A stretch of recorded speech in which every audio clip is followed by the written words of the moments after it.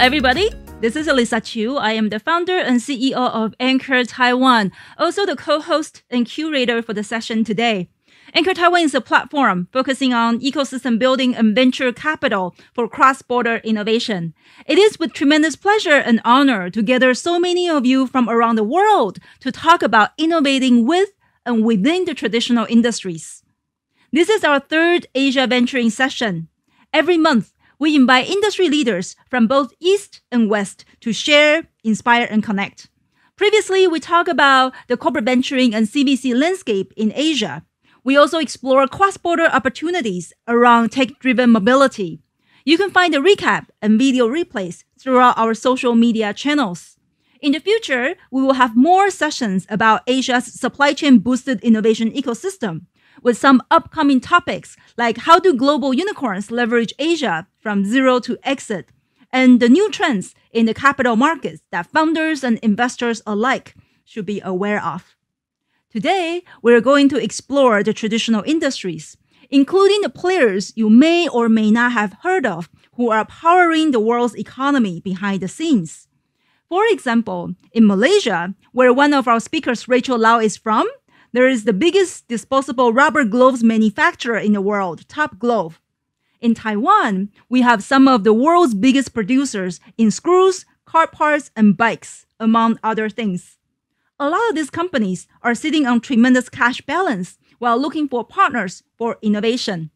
On the other hand, a lot of these companies also offer incredible investment opportunities with attractive profiles. If you know where to find them and how to work with them, you can open up a whole new world with possibilities of powerful partners or investors in Asia. Today, I am bringing together three speakers representing global brands manufacturing giants, and capital markets. Did you know that Lululemon has a general manager sitting in Taiwan in charge of its global supply chain except the Americas? We will look into how Lululemon works with their Asian vendors and partners and why Asia is crucial for its corporate innovation. From the manufacturing side, you might know the biggest bike manufacturer in the world, Giant Bicycle, or better yet, you might own one. In fact, if you have a giant bike, or if you're like me, a die-hard fan of U-Bike, the bike sharing system that Giant runs here in Taiwan, tell us in the chat. On today's topic, how does Giant view M&A, ESG, and what suggestions do they have for startups? Last but not least, how can the next generations of traditional industries in Asia use capital markets to make an impact and be the bridge between external innovation and their family businesses. We have a prominent player from Southeast Asia, RHL Ventures, who takes family offices to a new play. These are some of the perspectives we will touch up on in today's fireside chat. We broke our record with the number of RSVP for today's session, by the way. Thank you so much for joining us today. I cannot wait to invite the interviewer and speakers to the stage shortly. The Asia Venturing series would not have been possible without our co-host and important partner, DigiTimes. Before we start, I would like to invite Eric Huang, Vice President at DigiTimes, to share a few insights on today's topic. Eric, over to you. Thank you, Elisa. Greetings, everyone. Elisa, Richard, Rachel, Gulshan, and Marcel. Glad to have all of you join the webinar. I'm Eric Huang, Vice President of DigiTimes. I'm responsible for DigiTimes Asia and lead our research team to provide tech supply chain insight with an angle from Asia. Before the panel, I would like to share two interesting figures regarding to Asian traditional corporates. How significant is the traditional industry in Asia? To answer the question, DigiTimes collects the year 2020 revenues of all these companies in Asia. We separate them into three industry sectors, namely tech, telecom plus media, and non-TMT sectors. TMT industries are the highly tech-related industries under the digital convergence paradigm. Non-TMT industries thus can represent the traditional industry. In this figure, you can see non-TMT sector accounts for more than 88% of the total revenues in most of the Asian countries except South Korea and Taiwan. Thus, non-tech industries are the most important contributor to these countries' economic growth. Taiwan is the special case in Asia, whose tech sector accounts for 60% of the total revenues of its public companies in 2020. Famous tech companies in Taiwan include the world's largest tech EMS provider Foxconn and the world's largest wafer foundry TSMC. Even with the dominance of the tech sector, Taiwan's non-tech sector is also competitive. For example, Taiwan's Giant is one of the world's best-known bike brands. Glad to have the Giant Marcel to join the panel. Also, Taiwan has very competitive textile industry to support world's most famous sportswear brands such as Lululemon to develop innovative products. That's why our panelist, Gulshan, choose to be located in Taiwan to mention Lululemon's supply chain of its global raw materials vendors except the Americas. Many companies in the Asia traditional industry are family businesses. PwC conducts global family business survey and publish report every year. This slide cites the survey result for year 2020. The left figure shows the extent of agility and adaptability of global family businesses.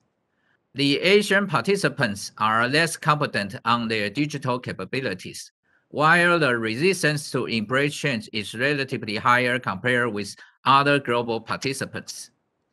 Under this circumstance, Asian family businesses are still eager to pursue digital innovation and technology. Like the right figure shows, this option is the key priority only second to expansion and or diversification. The score of Asian participants is comparable to the participants in North America. For example, our panelist Rachel used to manage a fund for her family capital now she mostly manages funds with institutional capitals. Their main investment is on food tech in order to solve Asian aging and healthcare resources problems. In brief, low corporate culture of individual firms may differ. Asian traditional industry faces the same geopolitical, economic, technological, and environmental challenges with their Western counterparts it's important for them to innovate and transform as soon as possible for the new market opportunity and stay agile and sustainable. Now back to you, Elisa. Thanks, Eric. Now, I would like to introduce the interviewer for the session today. For the Asia Venturing series, all of our interviewers are keynote and panel speakers themselves with tremendous industry experience. I first met the interviewer today, Richard Dasher, back in 2018 when I was invited to speak at Stanford University's US Asia Tech Management Center, where Richard serves as the director and chief executive.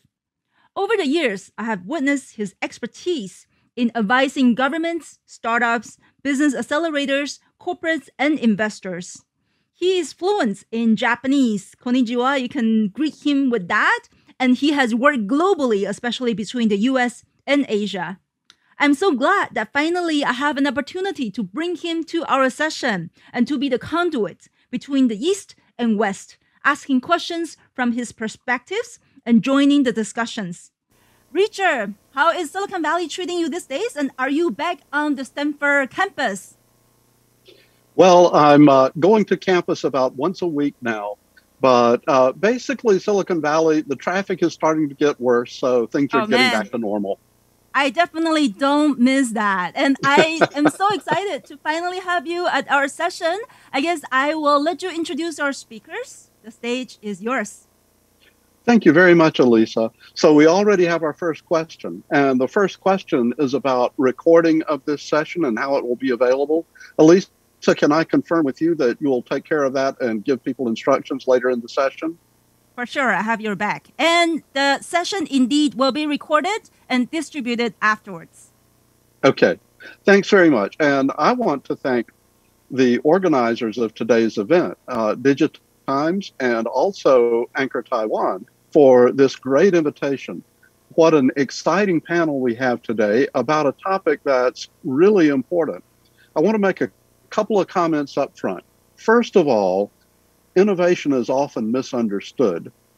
Innovation is really about change. When you invent something, you're creating something new, but that's only the beginning of the process of innovation. The best definition of innovation that I've seen is that innovation is responding to some change around or anticipating some change by creating new value. Value doesn't exist unless what you've invented is actually used.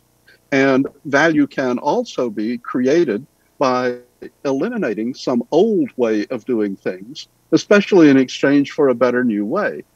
So innovation is broad. It applies to business models, it applies to business practices as well as to technologies and products. It's all about change. The second point is that we're in the middle of an era of incredibly great change. It's often called the fourth industrial revolution.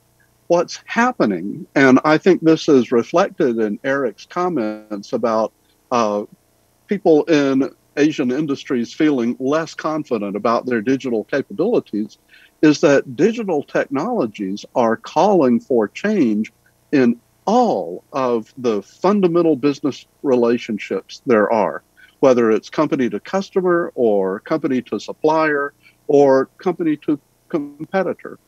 Also, as digital data and digital technologies continue to move into the cloud, where really there aren't borders, it calls on us to think about international business and global competition in new ways. Yes, of course, this is something that everybody worries about.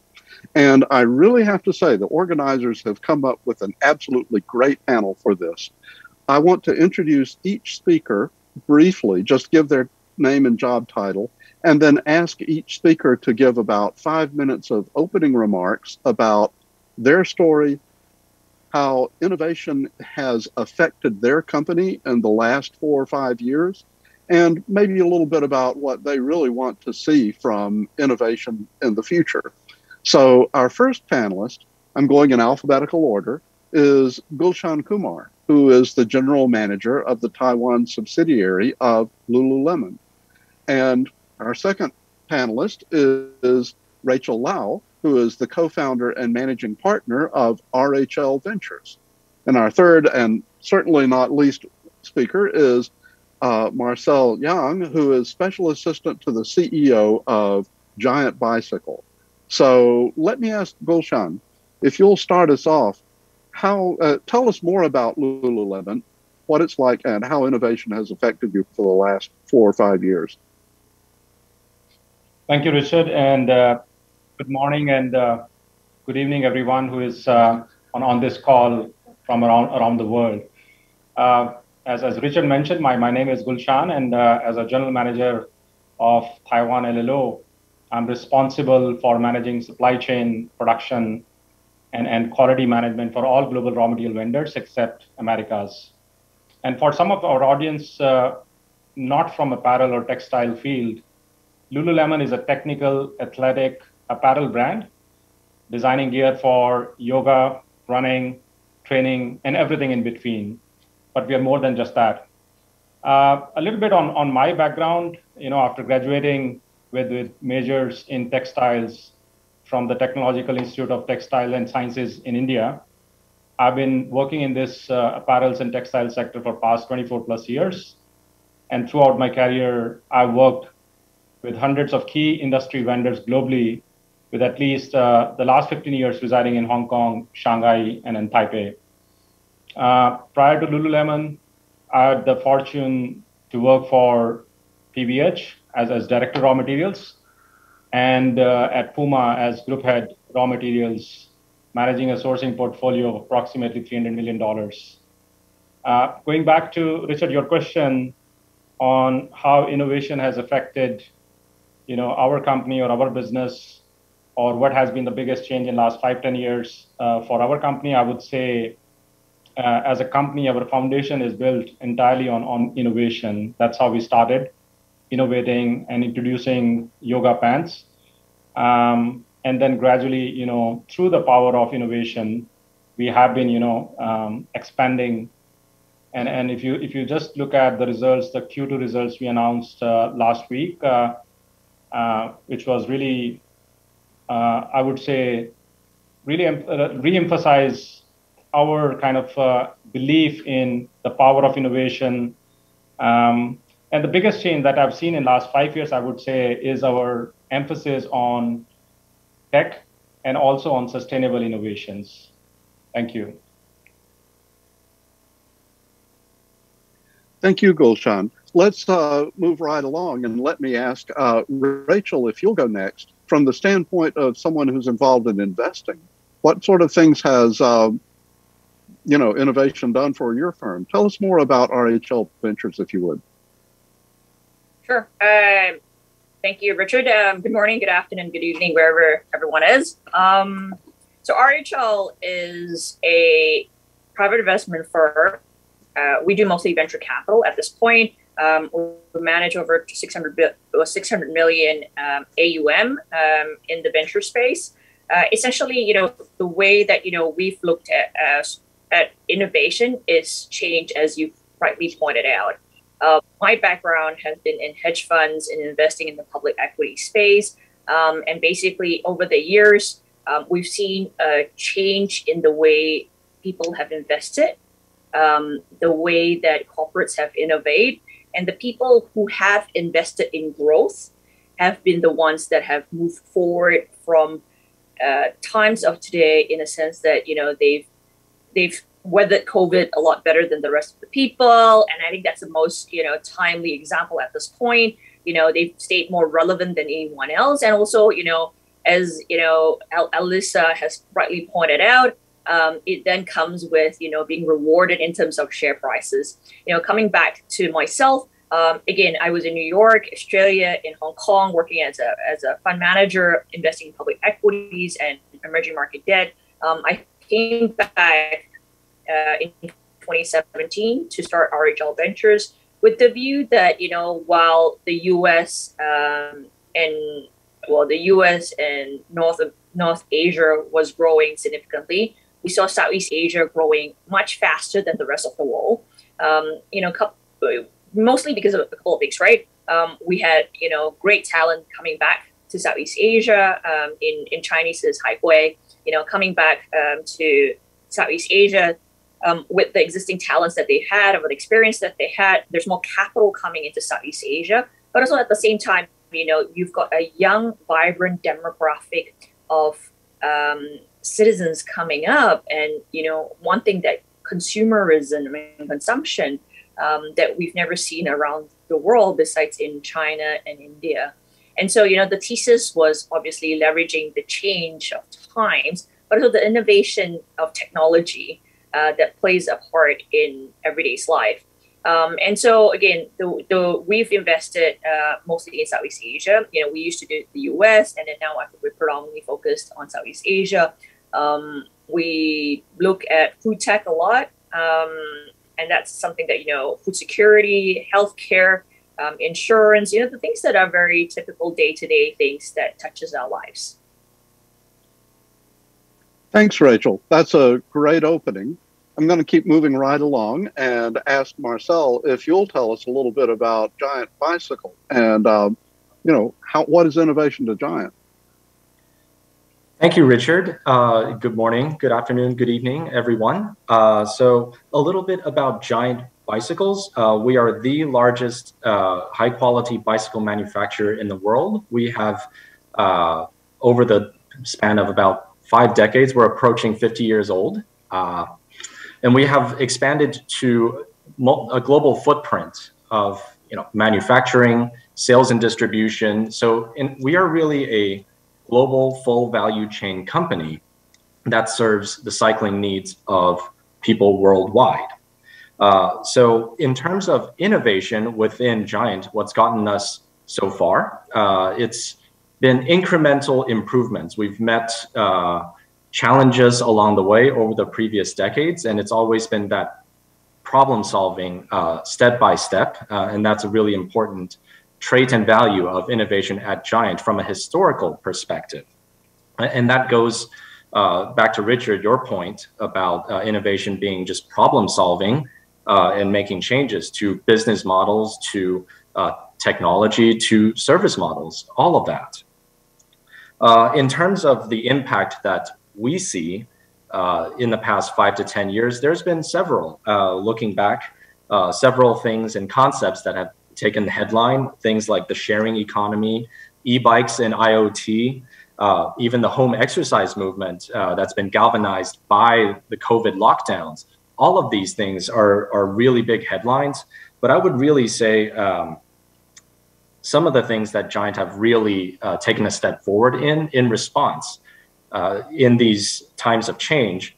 One being the sharing economy. You know, people still probably remember the whole bike share uh, boom of several years ago. Giant has made a play into this space uh, but in a very specific manner. Uh, Elisa, in her opening, mentioned U-Bike, and that, that's been Giant's play. Uh, we, we position it as a public-private partnership between Giant as an operator and uh, equipment provider, as well as local governments as, um, as our on-the-ground partner in terms of promotion and making sure the infrastructure is there. So for us, it's really about uh, serving the public need for that last mile transportation. So if you were anybody that's outside of the US, uh, were to visit Taipei and you're taking our MRT subway system to get across town, get out of the station, there's more than likely a U-Bike station with bikes available on the spot. And there's likely to be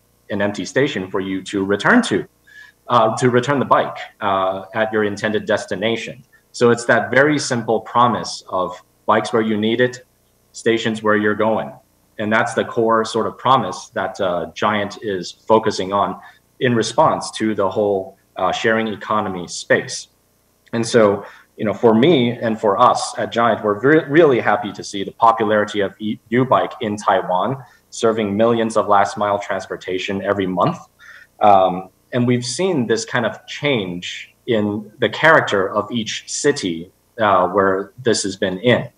Uh, you know, streets are becoming safer, the air is cleaner, and especially the old and neglected neighborhoods are revitalized. So that's kind of one concrete example of how you know Giant has looked at uh, changes in trends and responded to them in a way that's sustainable uh, and good for the public and us in the long term. Now, looking into the future, uh, probably the biggest theme for innovation at Giant is going to be ESG. And that kind of echoes, uh, Gulshan, your comment about sustainability. Uh, that's on our mind as well. Um, bicycles are taken as symbols of that green world, sustainable living sort of uh, concept. And we'd really like to deliver on it in, in a very concrete way. So we're looking for uh, the next wave of innovations, teams, uh, partners to help us realize that sustainable concept for bicycles from an industry perspective overall. Okay, thank you very much, Marcel. Uh, I want to kind of do sort of a, a heads up on the format for this afternoon. We're going to be discussing among each other for a while. There are some things that we think are important to get out to everybody. Uh, we're paying questions. I noticed that, that Elisa just went through the A box and said that everything's been answered. I have taken notes on these questions. We'll come back to some of them as we go along. Um, and especially the company specific questions we'll do a little bit later. But uh, I want to uh, go around with all of our um, panelists now and ask a question that's basically maybe the toughest one in the afternoon. What's hard about innovation in your organization? Why is it difficult to innovate in your industry and in your company? Gulshan, what would you say to that? I would say, Richard, um, you know, uh, for any innovation to succeed, I think the what we realize is there are a couple of points uh, you know that uh, that we also advise internally as well as you know externally to our vendor partners as well is a you know don't be afraid to take risks you know or or embrace the failure. And and be uh, have patience uh, because these things take time you know like we always start small uh, we test we iterate and then we grow it into a fully commercialized product.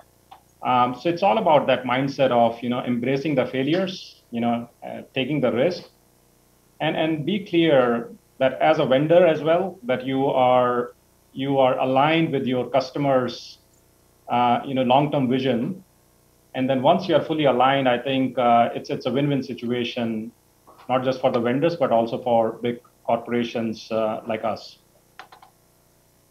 So it's interesting psychological issues. You know, fear of failure or unwillingness to take risk or even just not wanting to wait until you can really accomplish something. Um, you see any ways around those? Yes, for sure. Um, as I said, uh, you know, when we select um, vendors, you know, just very interesting. I would like to share here is is uh, we spend a lot of time, you know, building those relationship and connections first, just trying and understand understanding each other, uh, sharing each other philosophy, understanding each other businesses models, and once we are once we are clear that you know these are the these are the startups or the SMEs that we should be investing in, um, then it's all about you know just giving that enough time.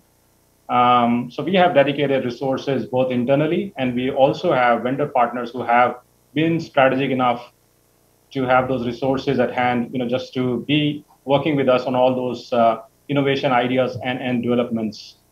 Um, this is what I always suggest any new startups or any new SMEs or traditional companies, you know, textiles is one of the largest traditional industry in the world. Um, so we get to deal this with this uh, day in day out. Um, so yeah, as, as I mentioned again, just uh, having clarity on the vision, just having clarity to your point, like what innovation can bring into your business model, not just your customer, but your business model as well. Uh, and once that is clear, I think it's, it's a win-win situation for both parties. That's great. Thank you. We'll come back to the special role of working with um, startup companies and SMEs. Uh, that's a really good point. That's really kind of my next big round of questions. Rachel, from the standpoint of financial industries, what do you see as the biggest barriers to innovation, either in the industry itself or in the portfolio companies you're working with? I'd say we invest in startups. Um, so we're all, you know, very for change because the whole idea is to disrupt existing businesses and the way, you know, existing businesses do business, right? Um, you know, I say financial industries have been hampered by over regulations, um, and you see more regulations coming in, and and I think with regulations it stifles growth. Um, there's there's no better way to put this. Um, and so when you see the fintech companies coming up, you know, it's very basic things, right? You know, I mean, I'm, I'm sure everyone here has had the issues of going to the bank, changing a password, you know, calling the bankers to figure out, you know, how to do a money transfer. You know, these things are very basic stuff. You know, the e-wallets, for example, you know, now we can go down. You don't have to bring cash. You know, I heard a, I heard a, I'd say he's probably about 70 year old um, he was telling of this little vendor and he said, you know, like, you know, when are you going to get like an e-wallet? Because, you know, having cash these days, it's not safe. I don't want to touch your cash. And so I think there's a, there's a mindset change. You know, I wanted to touch a little bit on, on what you said just now, you know, what's the biggest resistance? Um, it was really, you know, the mindset change of the older generation. But, you know, even they are adapting to, you know, change right now because, you know, it's safer not to touch the cash, for example you know, my mother says, you know, like, why do you want to go out and pick up groceries when you can order online? You know, I think this would have never happened if COVID never happened. So, you know, despite everything, I think COVID was a big accelerator for change. Um, you know, companies needed to innovate to stay relevant, uh, to stay in front of their customers. Um, and I think that would stay true um, in the next couple of decades. Um, you know, people, I think consumer behaviors have changed people don't want to go out the way they used to go out. You know, there's also convenience factors. Um, the groceries are delivered to your door. Um, you know, you get a lot more selection than your typical grocery stores, for example. um, you know, now mom goes and have a look at, you know, oh, you know, different sites, you know, that was never typically available to her because she never ventured out of her typical, you know, comfort grocery stores, right? And so I think if you look at it from that standpoint, um, you know, changes here and changes here to happen. And again, you know, just to your back to your point on financials, um, whether or not they change, changes here. And so if they don't if they don't change, if the banks don't change, and if governments don't change, you know, the fintech companies will take over them. Thanks, Rachel. That's uh, great for now. Marcel, uh, I want to ask what's difficult about innovation in a major, you know, product manufacturer, and also what kind of special problems were there in setting up YouBike? Thank you, Richard. Uh, I think when we go back to looking at innovation as simply change and problem solving, uh, I would say innovation occurs at a day, on a daily basis at Giant, especially in our manufacturing side of things, um, because we always run into problems and we always have to solve them. Um, and what I've observed, because I did spend uh, a, a, period of time on the factory floor to get a feel for things, uh, I would say innovation broadly speaking, fall they tend to fall into those two categories, right? One is being the incremental e- evolutionary process improvement. How do you make what you're doing now better? How do you serve your current customers better? Uh, and then on the other hand, you have those discontinuous, disruptive innovations where the keywords of we're going to upend or revamp uh, or replace uh, a process or a product uh, or a channel uh, come into play. And I think these two things have to be looked at very differently. And in order, and, and as a company, we need both. If I strictly look at the traditional manufacturing perspective, I would say we're not too bad at the incremental evolutionary uh, types of innovation. We've been using uh, the Toyota method for for a good number of years, and that's the driving force. Um, and it's interesting because anybody with that uh, mindset, when we pitch, especially the younger generations, when we're pitching grand new ideas, the burning question from the managers, from the more experienced team is always, well, are you innovating for better or for worse? Because what they're thinking uh, is, we're a full value chain company and there's no room to externalize any downsides. And so uh, what ends up happening is we have this kind of dichotomy of really robust and energetic young uh, group of people that's just throwing idea after idea, but then a really tight filter uh, through which these ideas have to get kind of refined and sharpened. And so, in order to let these two things kind of coexist, we are we've done a little bit of a internal organizational innovation in creating a new subsidiary called uh, Advanced Intelligent Products or AIPS technologies for short. And they're tasked with just developing and bringing tech enabled cycling products uh, to our consumers. So, because it is a brand new business unit and insulated from our core operations, uh, they are much more free to engage with a wide spectrum of startups and teams, anywhere from material sciences, production technology, all the way to uh, artificial intelligence algorithms. So we kind of have to create environments for both types of innovations to thrive. Can I follow up and ask, what's the relationships like between AIPS and uh, headquarters? Uh, how, you know, because I can easily imagine that they might see things moving at a different speed. Certainly, and it, it is the intention uh, for us to be able to have different units move at different speeds uh, in order to catch uh, different opportunities. And the relationship uh, has to be connected at a very high level. Um, if we're still looking at, hey, let's work on an operations level, uh, even your day day to day kind of pace. You know, how quickly do I expect uh, a change to take place? even that cadence is different. Okay. So you're expecting the change and managing it is just a fact of life. Exactly. We're expecting the difference in speed. Yeah. Okay. Thank you.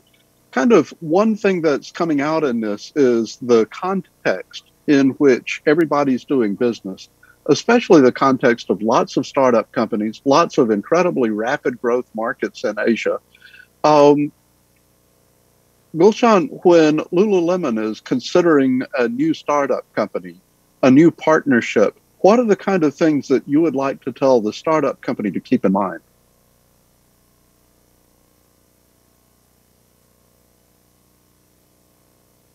As I uh, mentioned earlier, Richard, any new inno- innovation ideas takes time to develop um, because there are you know rounds of iterations you know from seeds to sca- scale.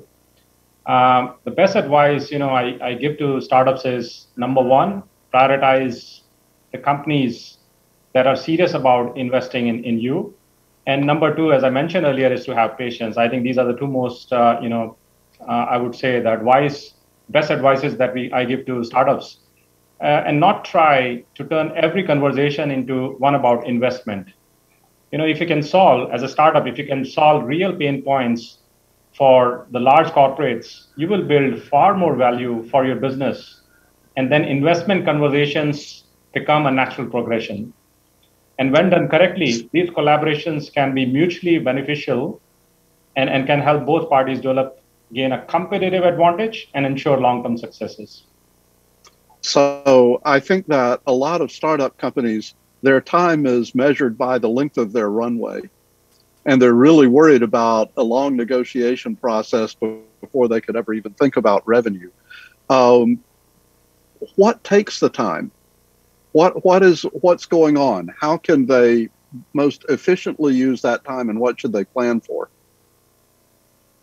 I think it's, it's just uh, to eliminate, uh, you know, before we launch any product, uh, we call, you know, different kind of uh, uh, test readiness levels, you know, TRL levels.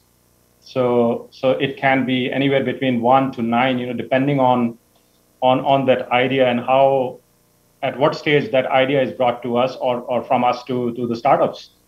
Uh, so we would not launch any product unless we that has gone through this all this level one to level nine kind of you know like test and run, learn kind of trials uh, you know testings and iteration and reiteration and, and then mirror trials.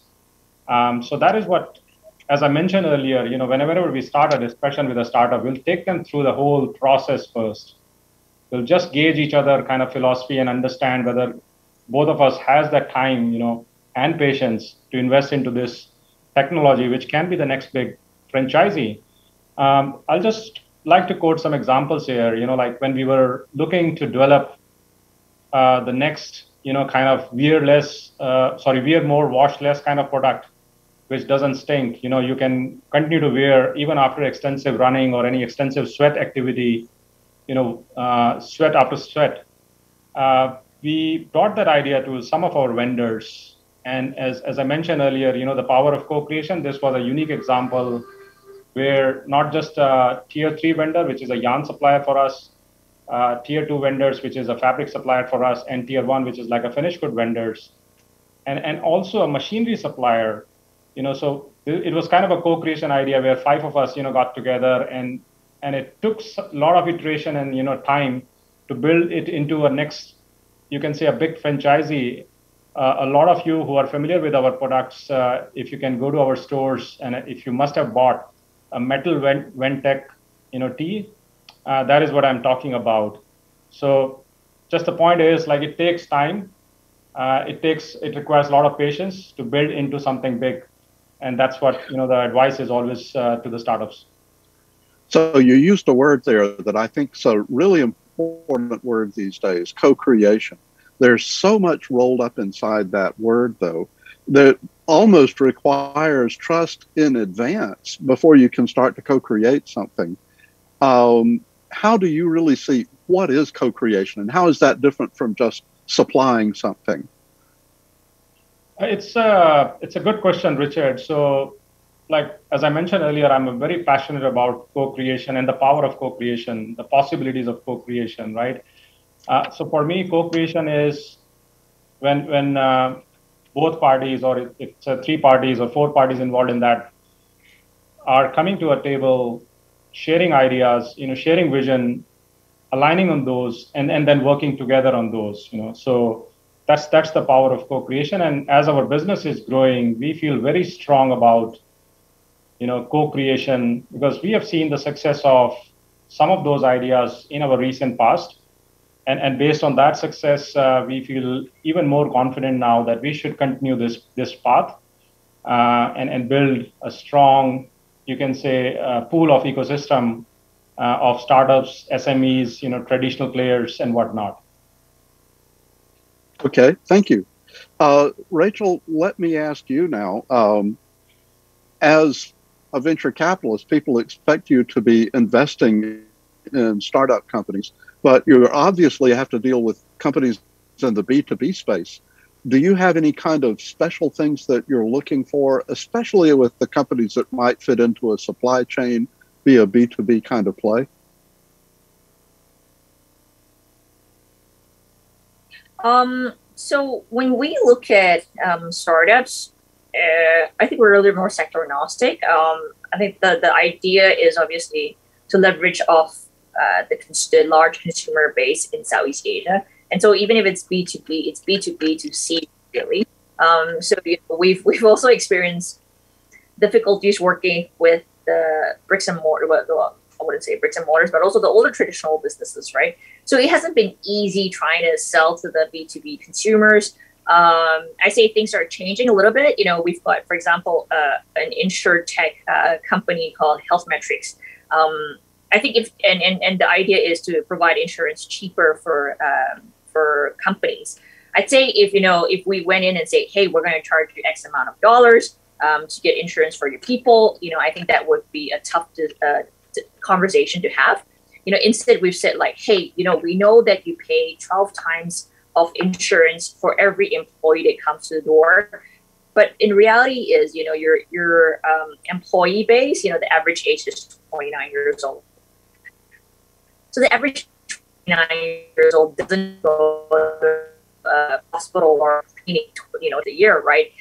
That or like they've, they've got other issues.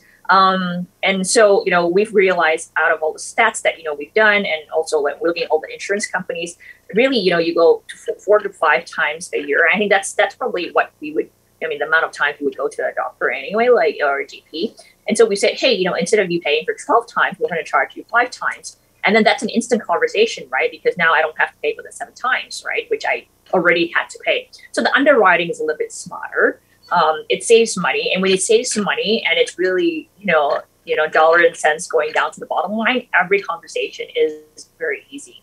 Um, the other conversation that, you know, we've had is, you know, uh, mental health. Again, you know, I, I touch back again a lot on COVID because it's relevant. Um, we've realized a lot of people had a lot of uh, mental issues, not not because of anything else, but you know, the stress of being cooped up at home, you know, the extra workload from, you know, the non-distinction of work time, leisure time, home time. Um, so, you know, corporates now have embraced to say, look, you know, we might not be able to be there for you, but hey, you know, here's a, a solution that, you know, helps you monitor your mental health. I think that's extremely important and corporates have started embracing them. Um, another thing, you know, on the B2B space is, you know, we've looked at you know, supply chain procurement. You know, I've talked to Marcel on the side a lot on um, supply chain issues. Um, I'm on the board um, of GNC, and you know, we when last year when we when we saw this um, COVID happening, the biggest issue was the disruption of supply chain. Um, su- supplements couldn't go from the U.S. to the rest of the world. Um, we didn't have enough of raw materials from the rest of the world going to the U.S. manufacturing plants um, we had a standstill in terms of from factories to retail stores. Um, retail stores couldn't get you know their products to the hands of consumers. Um, so we saw a big issue on the supply chain. Uh, but you know, in Southeast Asia, it was actually predominantly your day-to-day stuff, right? Um, the farmers couldn't deliver their goods to the supermarkets. The supermarkets didn't have enough stock to sell to um, the consumers, and the consumers were left with more expensive less, you know, quality uh, produce. Whereas, you know, you saw farmers throwing away their produce because they were perishables. And so we've invested heavily on this food supply chain uh, because of that. Um, getting um, fresh produce consumers to the from the most vulnerable farmers to the hands of consumers, and also to be fair, a lot of ways bypassing the traditional retailers. Um, and so cutting down the middleman and you know increasing the margins for the farmers and of course decreasing the cost to the consumers. So I think you know it's it's we we invest quite a bit in the B two B two C space, um, but I think that's also the most relevant thing um, at this current juncture.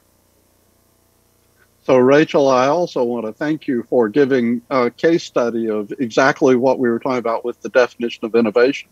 Here's mm-hmm. change going on around us, right? Like COVID 19 and, and shutting yep. down supply chains. You, your company saw that as an opportunity to invest in innovation. Mm-hmm. So I think I think that's neat. I have a follow up question that really takes us to one of my last two points that I want to get everybody's opinion on, and that is uh, sustainability and ESG kind of considerations. Is that another change that's having an impact on your investment uh, philosophy or strategy? I think Rachel, for, for you first. Sure. Um, for us, uh, it matters. It's always mattered. Um, I think if you do good, um, you will do well.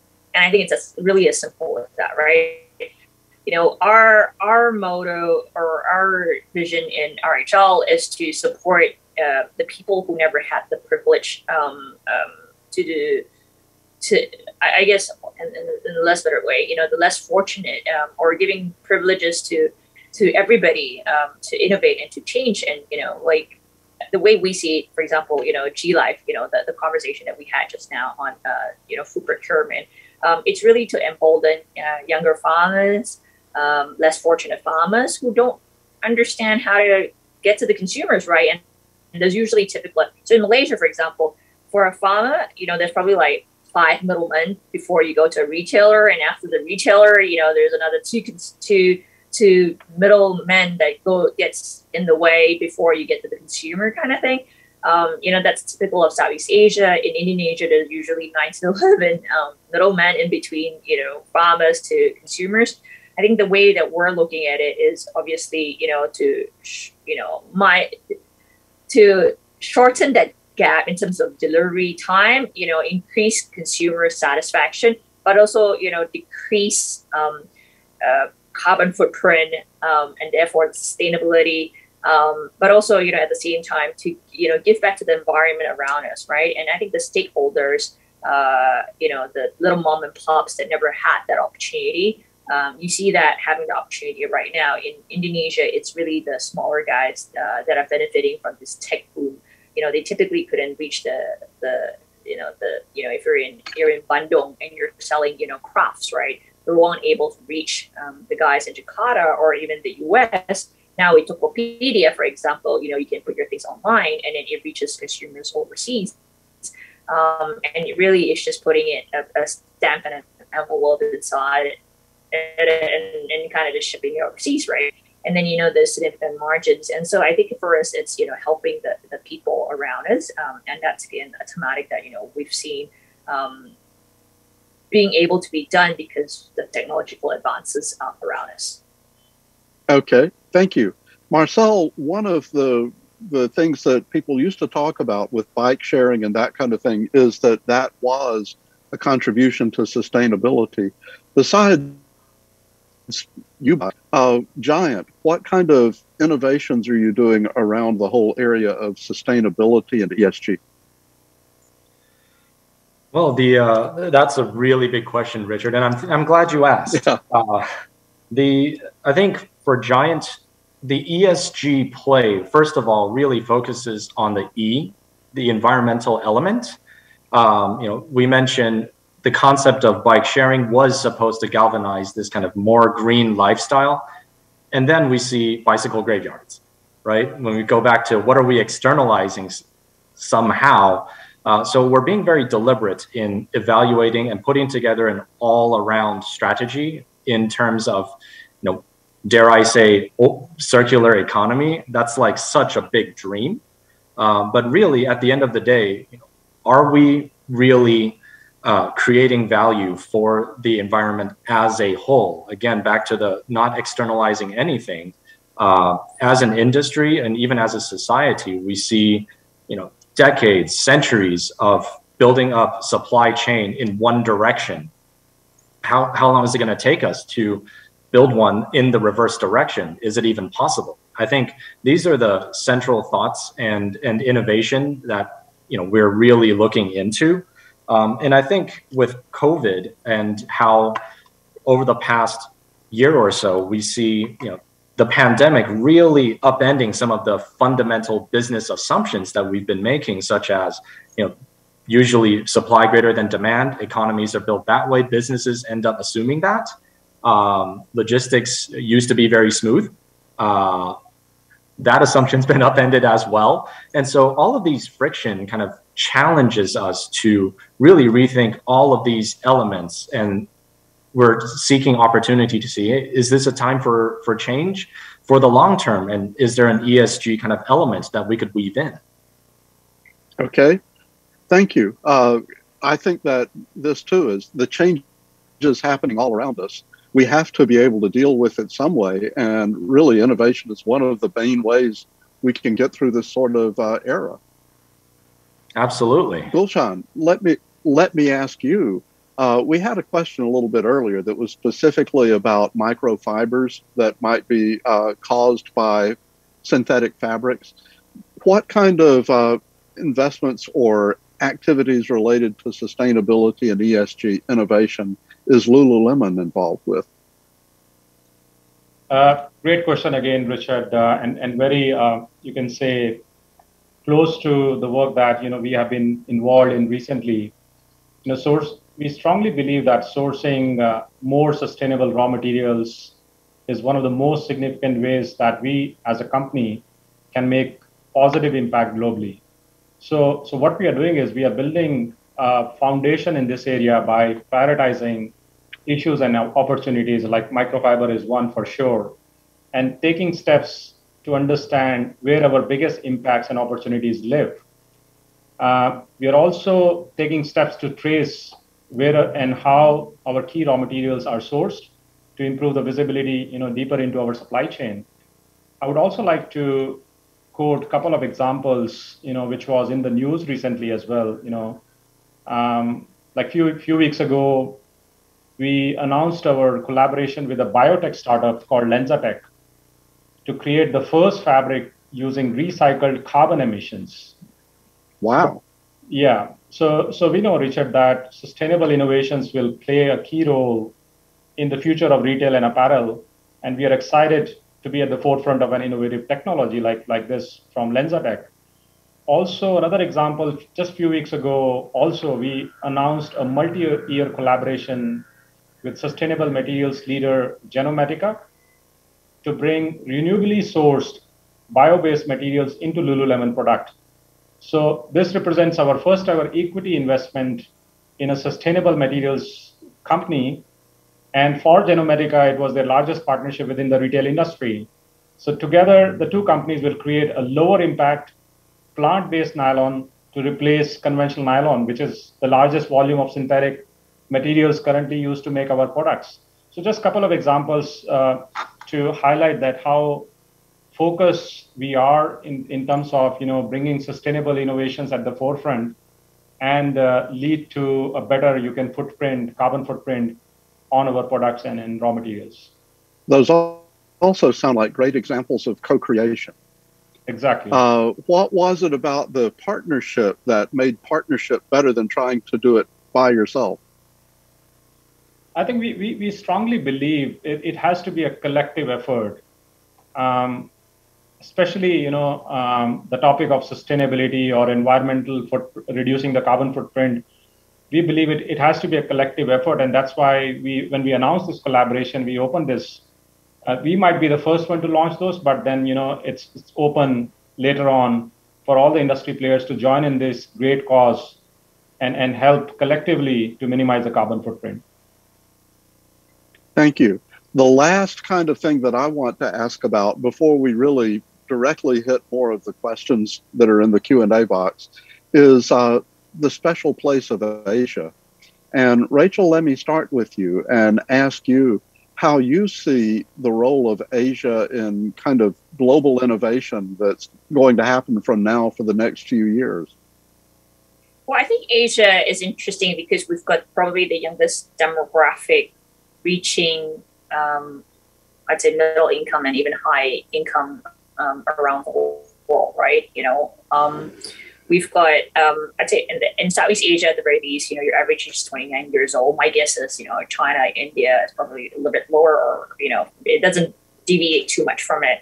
Um, so I think you know the consumers are pretty interesting. So given that the consumers are so young, you know, we're we've adapted to the technology fast, easy. You know, when we went to Myanmar a couple of years ago, um, I interesting. So it, I was speaking to the Telenor guys, and he said, you know, we know what's the interesting bit. Um, we when we first started and we came in, we gave everyone really lousy 2G phones. Um, so when you buy a SIM card, it was 100 US dollars, you get a 2G phone, right, to, to come with it um, people were chucking the 2G phones away and they were going to 3G phones very quickly because they said, what's the point of, you know, just being, you know, on the phone, right? It was really, you know, going online and, you know, having that online presence. And that was why people wanted the, the smartphone.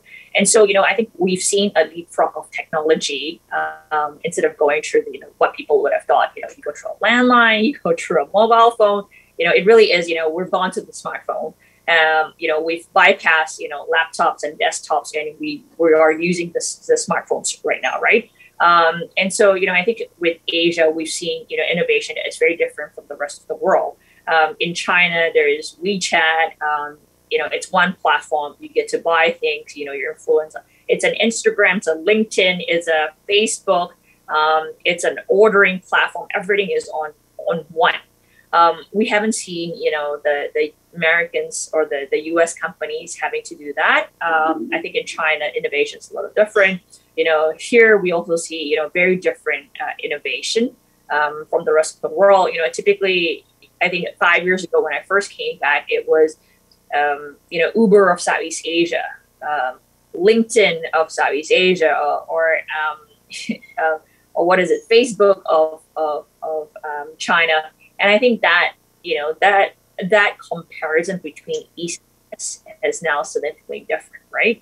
Um, and so I think Asia would lead innovation uh, more because, you know, I think, you know, culturally, um, we're very different. I think the things that we've embraced uh, have also been very different. Um, we've got a much younger consumer, um, and we've also got a very different mindset and consumers, right? Um, also, I think additionally, I think this is uniquely in Southeast Asia, or, or sorry, uniquely in Asia um, we've got a lot of entrepreneurs still helming, you know, the reins of their their their companies. Um, so most founders are still chairman, or if they're not chairman, they're involved some way or another, you know, dictating the policies of the companies. And so when you've got, you know, a stubborn founder there who's used to doing businesses, you know, how they did 30 to 40 years ago, it's a little different. But I think, you know, we're we're very different from again from the West, right? where I think if it makes dollar and cents and it hits their bottom line and increases their share price, most founders are very pragmatic with the conversation of innovation. Um, so again, I think you know we we're we're different from multiple standpoints, but um, you know I think the, the the last point about how founders are still at the helm um, of their companies, and I think we're slowly seeing the transition into the second and third generation. I think that's where you know change will you know accelerate in the next couple of years. Thanks. Real quick follow up on the ESG question. And this is kind of a restatement of a question that came in from the audience. Uh, I'm curious are your LPs sensitive to uh, ESG issues and kind of really democratization of benefits of the startup companies? Because I think that, um, you know, there is this sense that venture capital is all about making the winners win big, and so they make a lot of money, and then everybody else is left behind. Especially the whole kind of democratization issue. Are you getting much uh, dialogue with your LPs on, in that regard? I've said we've had a lot of conversations with LPs, um, and quickly, I've I've gone back to say, hey, you know, like if I if I invest in something that is ESG focused, um, and if it doesn't do well, are you able to accept the lower return? The answer is also no. Um, so while everyone talks about, um, we haven't really seen that you know correlate with the you know, potential lower and to say that that's going to be returns right i'm also saying that you know it's going to go both ways you know? Like if we're going to be investing in uh, the the younger farmers um, or you know going down to the rural areas are you going to accept a lower returns because of that? Or or maybe not a lower returns right? Are you going to be comfortable with a longer return period or digestion period right? Because the reality of it is when we go down to the the rurals um, and, and we're touching you know lives of the guys who haven't had a smartphone for example it takes a little while to adapt to that technology. Um, and so if you're okay with it you know i think we're okay with it. And i think the conversation is you know i think people are starting to realize that hey you know like investing doesn't take you know a day right? A change doesn't take a day or you know two months or a year. You know it really is you know a, a five year thing. And for us we have a t- 10 year horizon and everything. Um, because the way we see it is like change happens overnight but it happens slowly. And it, it it's it's it, it creeps in slowly right? You know people change. And i think you know we were not the same people that we were a year or two years ago right i think that's you know a year or two years ago i would be in taiwan with everyone you know having this conversation in person um, and now we're all okay online and we're doing different time zones, for example. And I think, you know, that I think that conversation has changed. And I think people are, a little bit, I'd say smarter, but more eloquent the way they invest, right? So the, the conversations have happened. I say it's not, you know, a must. Uh, but again, like, you know, the way we see it is as long as you do good, you'll do well. Um, and so that's probably how we invest. Uh, and again, like, you know, if we're going to invest in only, you know, the guys that are going to be big, you know, it's also not very fun. You want to you, you want to back the little guy, you know, you want to back, you know, the Mark Zuckerberg who came out from college, right? You know, that's you know that's more a fun story. Um, so you know, I think that conversation has happened, and I think you know, again, like for us, um, we're you know we're backing young entrepreneurs. You know, the average age of guys we've backed is under thirty five year olds, right? So you're really thirty year olds coming in. You do a couple years of um, of work. You're coming in you want to change the world. I think if, if with that lofty, you know, worldly ambitions, um, those guys do well, um, and we like that. And you know, again, for us, it's you know, how do we make the world a better place? Okay, thank you, Marcel. Uh, so, special role for Asia, especially innovation that might involve open innovation with Asian startups. We had a question about open innovation at Giant, so let's kind of put the two together. Well, I think uh, speaking from the Giant perspective, uh, my my personal exposure to Giant, uh, I'm because I'm coming from the states, so I kind of do see the that uh, desire for open type innovation, uh, very aggressive, fast moving, um, and and how that might might uh, fit within the Giant ecosystem. I would say, uh, as a Asian originated company, uh, Giant really has this kind of purity in terms of being grounded. Uh, to pick, to use Rachel's words, like pragmatic. Uh, that word actually pops up in our discussions a lot, and it's very high grit. Uh, and so, when we're innovating and we're looking at innovation, there's this very intense focus on what problem are you solving and for whom and whom who else are you causing problems for as a result um, and so uh, open innovation like we do do that on an, on an exploratory basis internally and externally uh, both with potential startups or existing uh, supply chain partners uh, a lot of the times we bounce ideas uh, with these partners now these conversations can get a little bit more tricky because on the one hand we do need to co-innovate with these guys uh, to, to really bring a new concept to reality. On the other, uh, that's value creation. And on the other hand, who's going to capture that value and how? And so it's a very interesting uh, dual dynamic that's going on. And, and so it, it, there's a lot of layers going on in these types of uh, projects and, and initiatives. But when they work, it's very exciting. Agreed. Uh, let's go to uh, Gulshan. Gulshan, what's what's the special role of Asia, especially in innovation for Lululemon? Not not so much as the markets themselves. Uh, Richard, I would say you know since uh, I'm, I'm based in this part of the world for last 15 years, you know, uh, Hong Kong, Shanghai, and, and, and Taipei, and, and working with, you know, vendor base across Asia.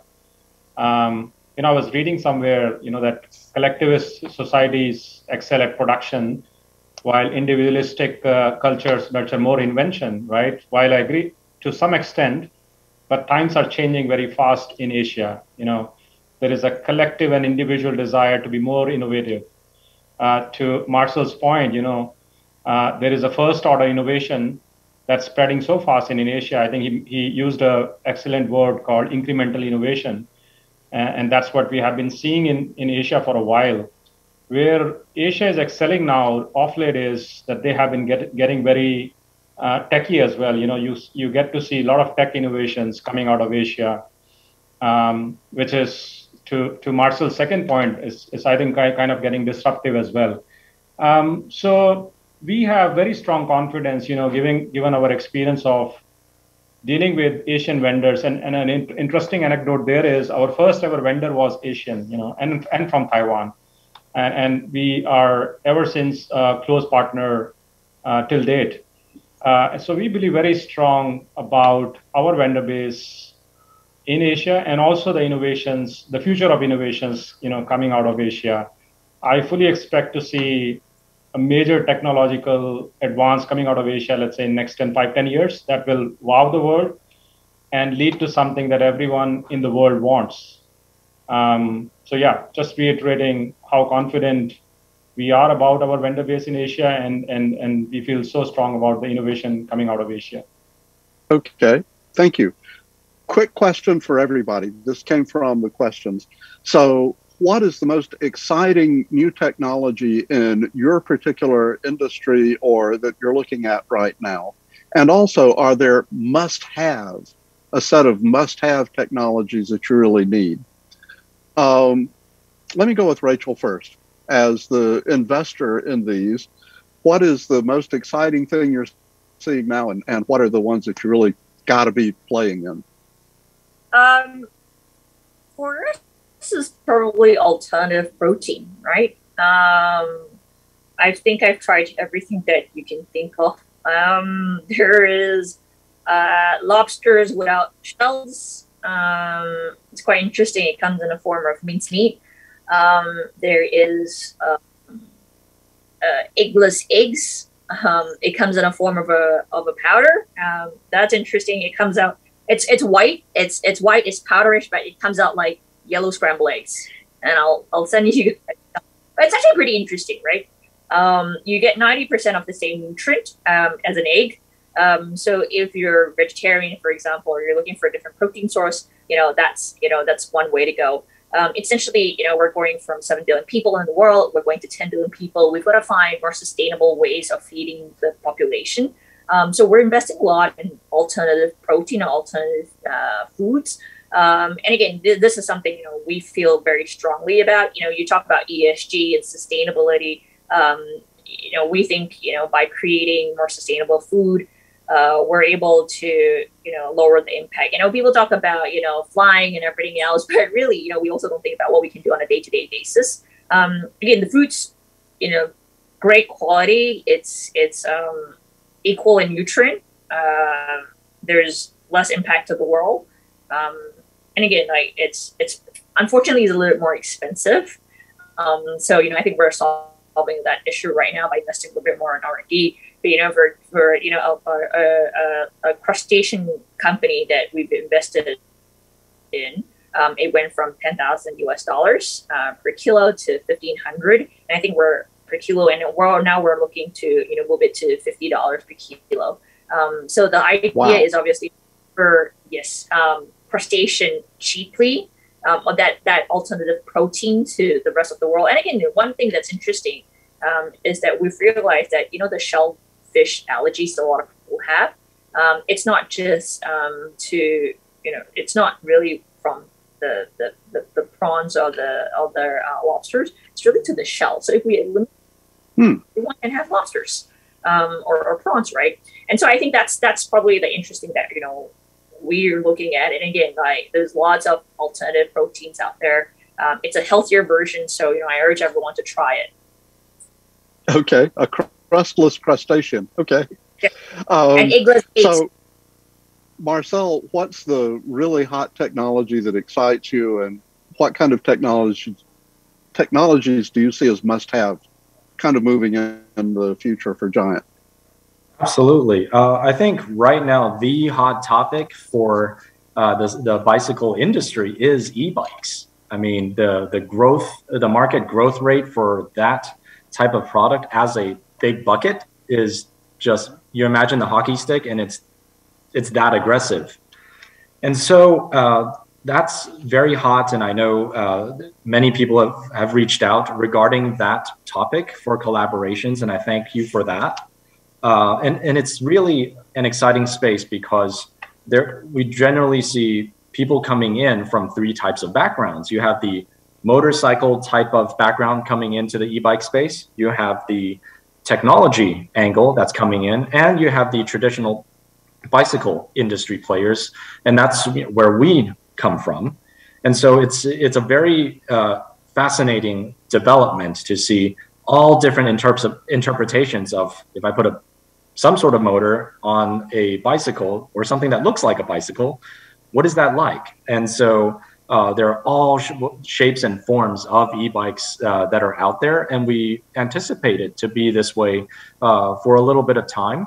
Um, but taking on the evolutionary next step sort of logic you know what's the next must have uh, well if you play out this prevalence of e-bikes battery recycling that's going to be a next step um, and also we talk about e-bikes in forms in terms of emissions reducing well are you really reducing emissions if you take into account the full product life cycle, uh, including the usage as well, and end of life uh, of the product? All of these things are, I think, going to be the uh, logical next steps that we have to look at, which kind of ties into our focus on ESG now. Those are great points. Gulshan, what do you see for your must have technology and what's really exciting now?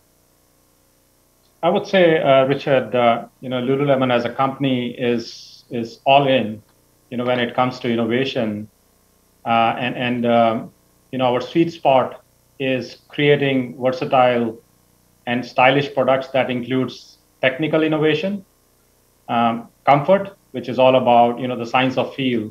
So, so some of you might have seen recently we introduced our media campaigns around feel um, because we strongly believe that anything you know that that touches skin or that's next to the skin for our guest, um, you know, should have a special feel or feel about it. So back to the point, like technical innovation, uh, comfort, and flexibility, which is all about movement. So any innovation with, which can bring this uh, to the table, we, we are more than welcome, you know, to to um, talk about those. And also not not to not to forget, you know, if these innovations can be intertwined or can bring in a sustainability angle, I think that that's a definitely a win-win situation for for both companies. Thank you. Thank you. So, everyone, I just want to give you a heads up. I have one more question I'm going to ask everybody. That means I'm not going to be able to get to a lot of the questions in the Q&A box, which are great questions. And we will follow up and, and you know, they have all been considered, trying to keep some measure of cohesiveness in the in the order of topics. Last thing though is none of the three of you mentioned the other big buzzword that's in innovation right now, and that's digital transformation. And I'm kind of curious, um, why not? And what is digital transformation to your company? Uh, the 25 words or less answer. Gulshan? Definitely. Uh, and, and thanks thanks for you know voicing this out. I mean, uh, not to be missed for sure.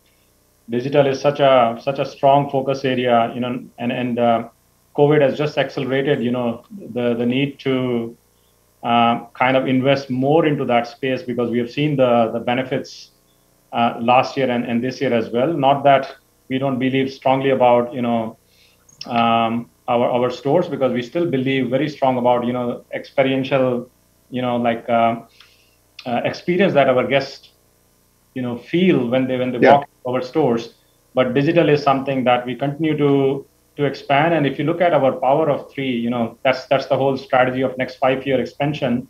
Uh, one of one of the power of three pillars is omni guest experience and, and digital is at the forefront of that for sure. Okay. Marcel what about giant? Digital transformation. That is certainly a very big word. Uh, here at Giant. We've been talking about it for the previous several years and, and really executing on elements of it. Uh, within the bicycle industry, and really speaking for Giant, uh, digital transformation has been happening bit by bit. Uh, from a product perspective, we see digital transformation, these types of uh, IoT devices that are attached to our products um, we see those as ways to augment, to expand the experience of cycling. And that's anywhere from the YouBike system all the way to our e bikes and everything in between. Uh, we have, you know, forayed into power meters that really analyzes every cyclist. Uh, you know, what's your power output? That's a, derived from the elite athletes. Not, that's now democratized to anyone. Uh, and so we position these types of technology and insight as a service to improve on your cycling experience. Uh, that's one way, uh, one concrete way in which we look at and think about the uh, digital transformation. Now, on the operations side, uh, in terms of the sales and distribution, um, I think I would like to echo Gulshan's approach about this dual channel and dual nature of consumer engagement. Uh, it's not online replacing offline. Internally, we have this lingo called lingo called uh, O plus O, online plus offline, how they complement each other. And so again, this is a very deliberate choice for us. Um, and finally, of course, in the manufacturing side of things, uh, Richard, you mentioned a little bit earlier about Industry 4.0, the digitization of uh, production. That's also evolving uh, in our side as well. Okay, thank you very much. So, with all of this digitalization happening everywhere and this kind of thing, Rachel, what is your attitude toward the term digital transformation and how does it impact how you do investing? Um, I think it's a necessity. Um, I've had multiple conversations with government officials, um, especially in Malaysia, over the last year and a half or so. Um, we've seen, you know, SMEs or small medium businesses really struggle over the one and a half years, um, where you know they aren't able to deliver their goods to consumers. Um, so the conversation, and and I think I, I never really understood that because we've always invested in digital transformation. Um, so not being able to deliver goods is like it's it's basic 1.0, right? You know, like that's that's you should be on e-commerce anyway. You should be on your smartphone. You should be on on on you know you should be able to work from home anytime you want because you've got a you've got a mobile and you've got a you've got your your your desktop or, or your, your laptop right so I, I never really understood that conversation um, until really you know this one and a half years where you know like um, people are just not equipped for that transformation. You know, like there's a lot of, you know, there's a lot of good intentions, but never nobody really invested in it. Um, and so, you know, you know, we've gone around hopping to say like, hey, I don't really understand why, you know, we're having a slum of economy, you know, when the rest of our, our portfolios are doing well. But again, I think it was a very simplistic way of doing, of thinking about it. You know, we've always invested in, you know, companies that were disrupting, you know, existing ways of doing businesses. So, you know, um, when COVID hit, for example, you know, the guys that, you know, we've invested in, you know, we've typically triple or quadruple um, in terms of revenues. So we're like, hey, you know, COVID's great, right? Because like, you know, things have been doing really well. But again, like, I think that's not, you know, a reflection of the, you know, the, the broader economy. And I think because of that, you know, I think now, you know, more corporates have really embraced the word digital transformation. Um, you know, they've allowed people to work from home, for example. It, um, I think that's probably you know the most useful thing. You know, it's probably not safe anymore to just go out in, in big batches. Um, so you know, why don't we look at this flexible, you know, work from home um, structure and you know put it a little bit, uh, you know, more permanent Um, you know, at the same time, you know, when we do due diligence, you know, typically, you know, we used to, I used to fly out every week, right? So I haven't, I haven't been out of the country since January last year to do diligence. Um, and now everything is online. You know, it's it's really more efficient. You know, I get more things done in a day um, as I would have typically had in the past. Um, and then I think you know I think the way that you know we have to move forward from our traditional uh, economies uh, has has you know it, it's happening right. Um, we can't you know rely on what we we've done in the past, and okay. I think that's that's basically it. Okay, thank you very much, and thanks to our three panelists who have demonstrated how innovation is all about keeping up with changing times mm-hmm. and moving ahead, creating new value, creating better experiences. All the inventions are the tools and only the tools. So I thanks to everybody for being part of the program. Let me turn over the microphone now to Elisa, and if you would help wrap us up. Thank you, Richard, and also Rachel, Marcel, and Gulshan. What a panel, an incredible discussion. And I have to say, man, because you know, like I got to keep um, an eye on what's going on in the chat room. What an incredible crowd as well. Thank you so much for spending either your evening or morning or afternoon with us. I really, really appreciate that. I'm sorry that because of the time, we cannot go through all of these incredible and wonderful questions in Q&A. But what we will promise is that we're going to collect them and basically send the copies to all of our speakers so they will get to know who asked what. And then if you were to reach out to them afterwards, um, you know, hopefully this is just the beginning of a lot of meaningful con- conversations and also connections to come not only among the speakers, between the speakers and you, and hopefully you have also connected with someone from the audience just now as well. And uh, remember that the recaps and also video replays of this session and also our previous sessions are available on our social media channels. So make sure to check out DigiTimes and Anchor Taiwan through YouTube, Facebook, Instagram, and so on and so forth if you want to watch the replay and do your review. So next month, we're going to talk about how global unicorns leverage Asia from zero to exit. You might be familiar with companies or products like you know Amazon Ring, Fitbit, Peloton, Tonal, or um, Vizio. How did they make it from a tiny early stage startups, especially when it comes to navigating the complication uh, with the supply chains and hardware production? Who was the early believer for them, and what kind of role did Asia play behind the scene back then? You will see the QR code for RSVP at the end, which you can scan to join us next month. Again, with that, I'm so happy to have this honor to bring all of you together. Thank you for joining us. Greetings from Taipei, and we hope to see you again very soon. Have a nice one. Bye bye.